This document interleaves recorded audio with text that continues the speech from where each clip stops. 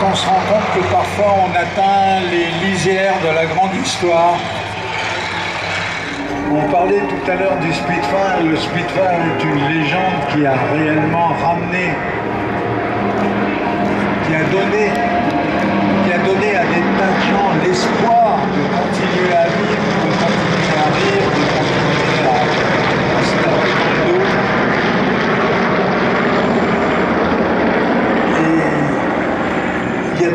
seul coup qui prennent un sens. L'espoir fait vivre.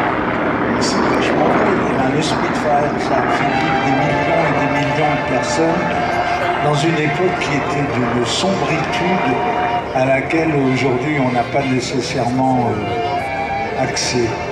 On sait peut-être plus ce qui a pu se produire chez nos générations précédentes, chez les anciens, ceux qui sont plus là, qui nous ont légué un monde.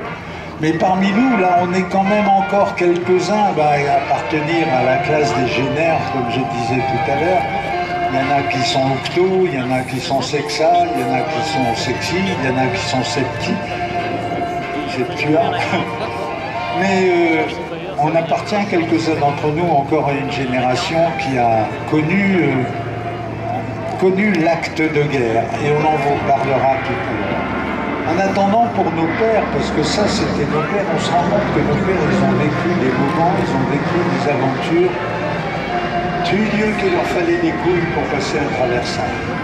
Et quand je dis ça, c'est pas uniquement limité aux mecs, parce qu'il fallait que les femmes aient aussi, en aient aussi pour euh, supporter des périodes pareilles et pour garder intacte leur euh, fonction de femme. Regardez ce Catalina.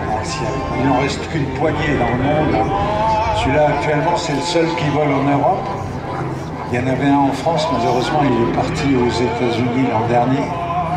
Mais regardez ce Catalina, regardez ce truc, c'est énorme, c'est un bateau qui vole. C'est l'avion qui, pendant la guerre, avait repéré les flottes japonaises avant la bataille de Midway.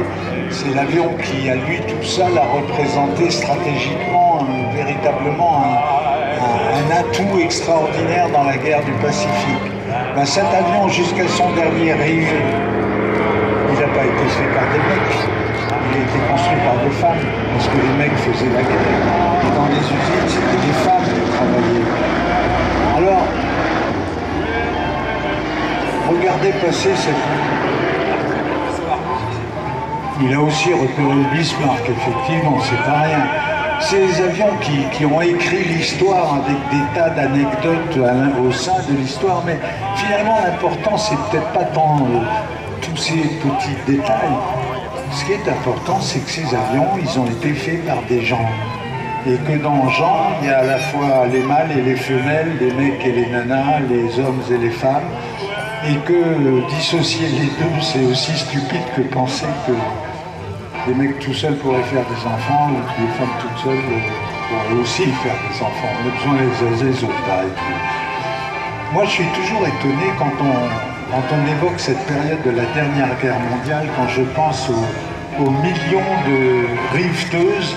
Il y avait un personnage mythique qu'on a inventé pendant la guerre qui était celui de Suzy the Riveter. Suzy la riveteuse.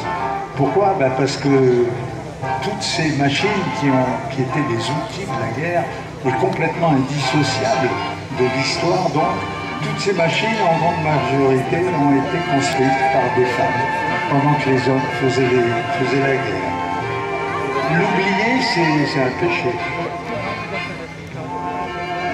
Et euh, si pendant la guerre, beaucoup des équipages volant sur ces avions